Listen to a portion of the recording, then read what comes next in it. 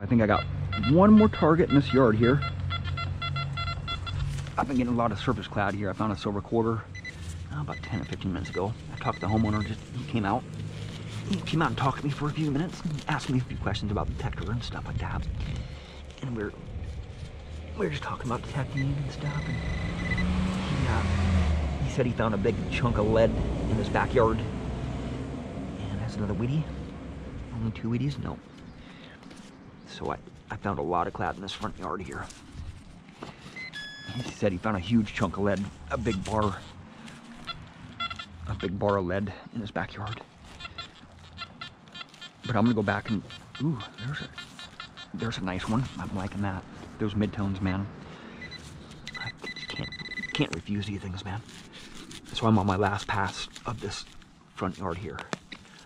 I'm on my last pass. Gonna a? And what's it gonna be?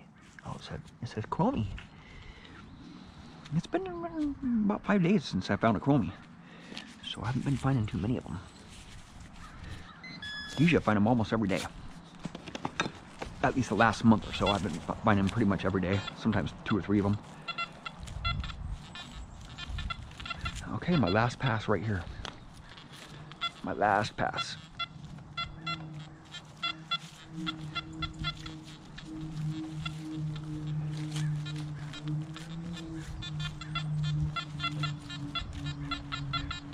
This one sounds very shallow. I just put new batteries in my pinpointer, so it should be able to detect it. Yeah, it's gonna be deeper. I'm going in deeper on this one. Most of my zinc pennies been right on the surface here, so this could be a deeper relic here. I'm hoping. Oh yes. It's a weedy? It looks like a weedy. It's shining up like a weedy. It is a weedy. My my other weedy that I got from this yard was a 1918 or 1919. Beautiful weedy. Let me let me scrub this one up a little bit here. Let's Make a couple scrubs on it, scratch it up. Ooh. This one's kind of 1926 or 1920. 1920. 1920 weedy. So that's good, man. I wasn't getting any high tones. I was reading up in the 50s, 52. Let me go like this. Deposit that dirt there. Okay.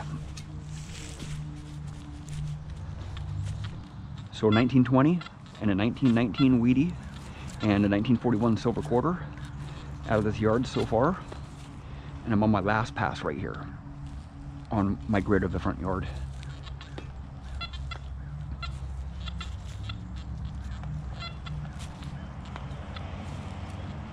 Alrighty. There's another surface coin right here, right on the edge of the fence line here. There's no fence here, but this is property boundary. I haven't asked the next door neighbor yet. I, uh, my buddy Dave told me when I was out here digging, he said, oh, the next door neighbor came out and looked at you. I didn't notice. So, I hadn't even noticed. I was probably right in the middle of a target or something. Okay, another zinc penny in the bag, and that's my wrap up from this yard here. Two Wheaties, one silver nickel, and a lead bale seal, and a couple other relics.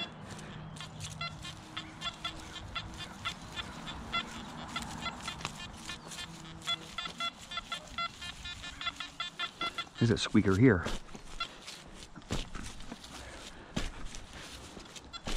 I know there's silver in this street. I found a lot of silver in this curb strips here. Oh, that sounds awesome. That sounds really good. It's gotta be somewhere close right here. Is it another weedy? Oh, I see a coin ball right there. Is that a coin ball? Sure does look like a coin ball. Is it another weedy? Oh, it is. A beautiful 1914 weedy. Oh, man. The date just popped right out at me, man. Oh, gosh. 1914. Oh, man. It's actually 1913. Boy. No, it's another 1918 weedy. Beautiful shape, man. Just like mint. Man, that is a beautiful coin.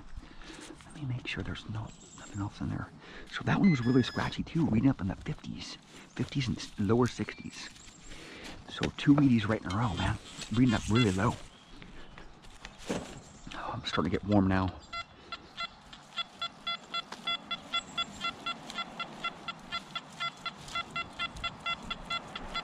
Oh, that sounds awesome. It's really scratchy though. I think it's gonna be a washer. It could be a silver coin right next to some iron, but normally the iron doesn't sound off.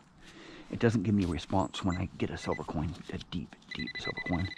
Oh, it's deep, man. Oh, that's gonna be good. If it's that deep, man, that's good because I have my smaller coil with me today. Oh, it's probably gonna be iron. It's like I said, it was probably gonna be some junk, like a washer or something. Oh, I'm right on top of it. Let me just use my, take it out by hand here. It's gotta be a nail or something.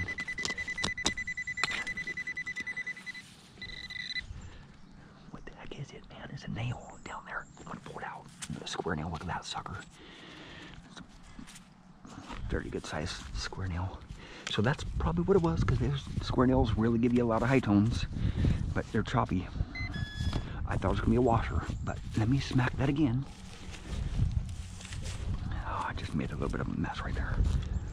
Nothing. There we go.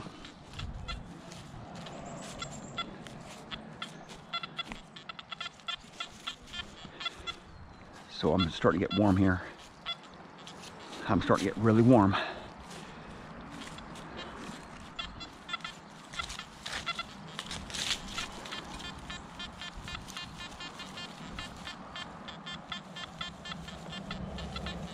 Oh, sounds like oil. It could be near the surface, but I don't, I'm not thinking so. I think it's gonna be some deeper foil. Mmm. Actually, that sounded really good. It's not giving me too much chatter. It could be a nickel. It could very well be a nickel. It could be a buffalo nickel, man. No. I was way off with that pinpoint. But it those mid conductors are really hard to find sometimes. It's right there. It's some junk. Those oblong pieces are hard, hard to pinpoint too. Hmm, what is that actually? Is it a pair of scissors there? Let me scrub that up actually a little bit. Looks like the end of a pair of scissors. No, it's actually a hair tie.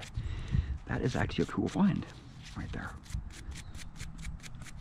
See, you scrub up some of your stuff that you think is junk, and it turns out to be not junk. But it still is junk to me, you know. Let me see if I can get a name off it there. Wow, it's coming clean too. It is coming really clean. Tip Top, product of USA. It's not very heavy. It's aluminum. Let me see if I can bend it a little bit here. Yeah, it bends really easy, so it's aluminum, but I will put that in my in my bag there and I'll do some research on it tonight. Tip Top hair products.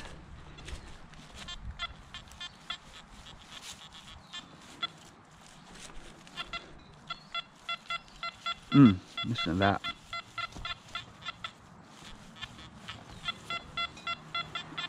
Sounds really junky.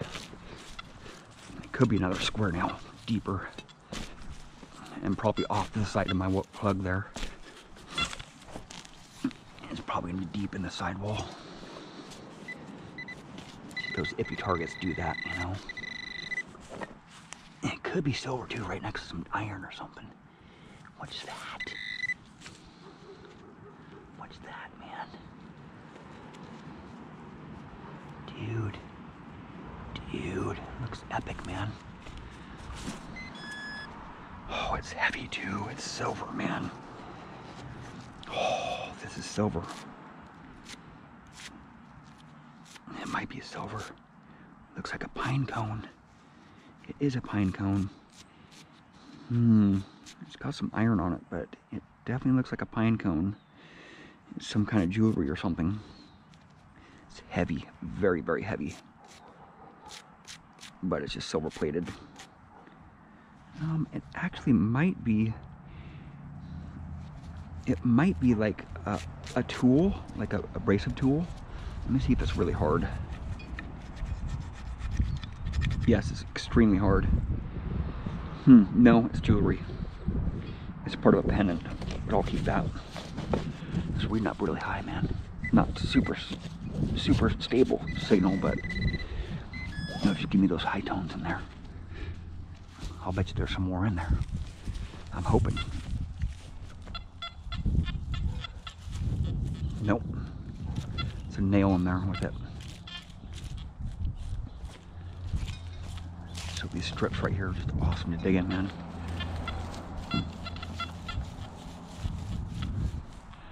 Wonder where Dave went to.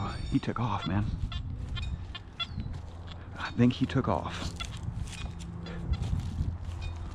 I don't think I've dug his curb strip out yet, yet. No, so I haven't been back with my Anfibio. I've rent, I've, I've dug this strip with my other Whites machines, but um, not with my Nokta machines. This strip right here, I, I haven't dug yet with my Nokta machines.